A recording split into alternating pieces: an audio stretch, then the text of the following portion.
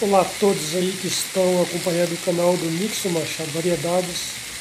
Hoje eu estarei mostrando para vocês como está fazendo aquela farofa de feijão adu com tocinho de porco e linguiça calabresa.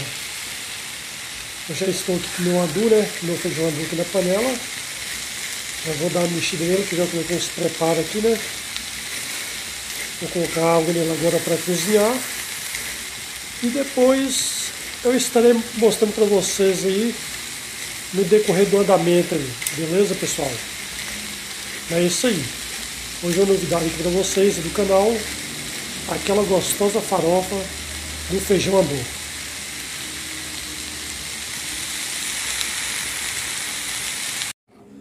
Olha aí, eu já coloquei aqui os temperos aqui nessa água, né? E aqui já Tá, olha pra vocês aí, ó, o feijão adoece aí. Tem, tá colorido, né? Porque tem uns roxinhos, tem uns verdinhos, tem várias coisas aí, as qualidades, né? Mas tá tudo misturado. E aqui agora só esperar cozinhar, né? Depois eu estarei mostrando para vocês quando tiver cozido. Aí eu estarei mostrando para vocês. Olha aí.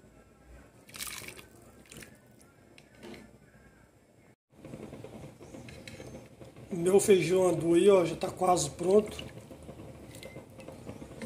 Praticamente já está cozido, né? Para vocês verem, ó.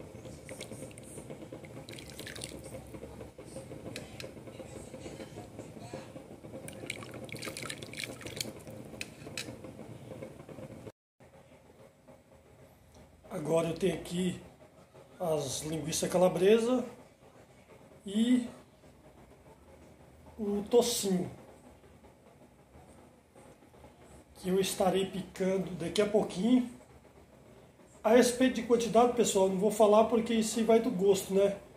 Como eu estou fazendo um pouco mais avultado, né? Eu faço mais avultado, então eu estou colocando a mais. Tem umas, vocês podem ver aí que o feijão do lado está uma boa quantidade, aqui também o tocinho, a calabresa. É porque, tipo assim, eu preparo essa farofa aqui, para comer no dia a dia. Então eu faço os potinhos e coloco no congelador e no dia a dia a gente vai servindo aí, entendeu? Então é uma delícia, não altera a, a, a qualidade de nada, fica bem fresquinha mesmo. Mas e para vocês verem, vou agora eu estarei picando essa calabresa aqui e o tocinho.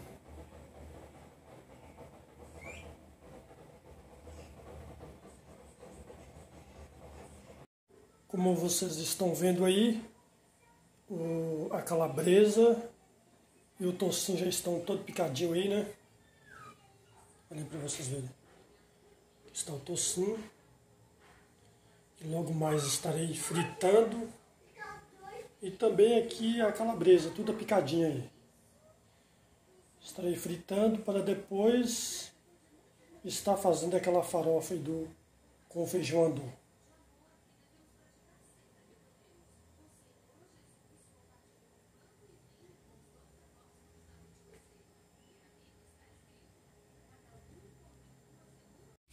Olha aí pessoal, já estou aqui fritando aqui aquele tocinho, né? Para fazer aquele torresmo aí. Para estar tá colocando na farofa, para dar aquele sabor bem caipira mesmo. Como vocês estão vendo aí.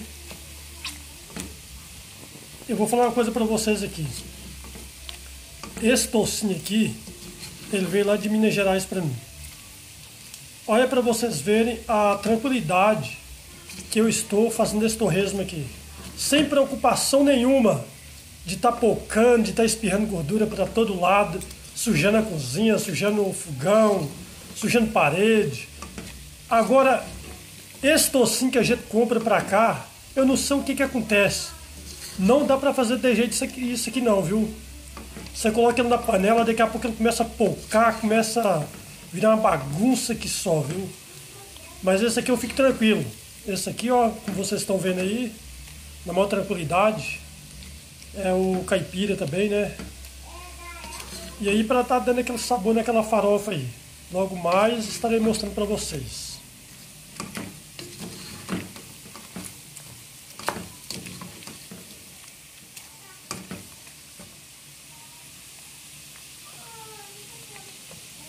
Colher de pau, hein? Colher de pau também é outro, outro tecido bem eficaz na cozinha, viu?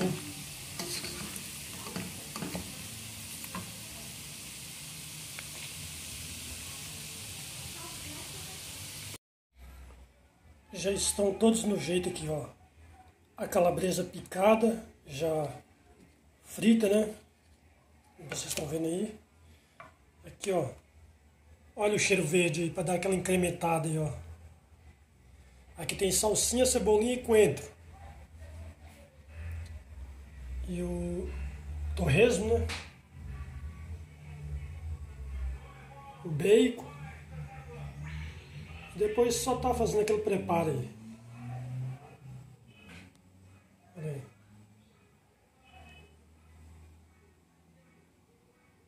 Olha que maravilha.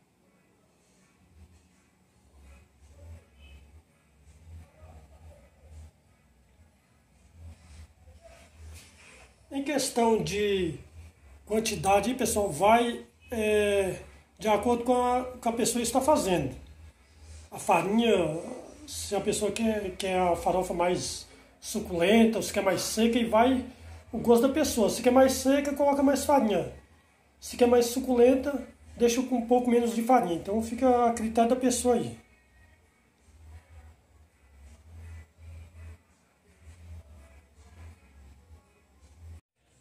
Olha aí pessoal, olha para vocês verem a coloração aí da minha farofa. Isso aqui é a farofa de feijão andu. Não sei se é do conhecimento de todos aí, mas existe esse tipo de feijão por aí. Muito bom mesmo, bem saboroso. Aí para vocês verem como ela ficou. Ó. Gente, isso aqui, isso aqui para você colocar no arroz branco, bem quentinho. Meu Deus do céu, nem precisa mistura, viu? Do jeito que essa farofa está bem recheada aqui. Com torresmo, calabresa, bacon. Eu faço essa quantidade bem avultada, como eu falei para vocês, porque é, eu já expliquei para vocês atrás aí. Eu armazeno naqueles potinhos de plástico e coloco no, no freezer, né? E aí vai servindo aí no dia a dia. Pega ela, esquenta no micro-ondas e não altera nada. Fica bem fresquinho mesmo, viu? Olha aí, pessoal, agora chegou aquela hora, né? Maravilhosa de degustar essa linda farofa aí. Vai para vocês verem. Chegou o momento agora, viu? Ó, vamos ver como ficou. Chega mais pra cá, bem pertinho, vocês verem aí, ó. Hum. Que delícia, hein? Essa farofa.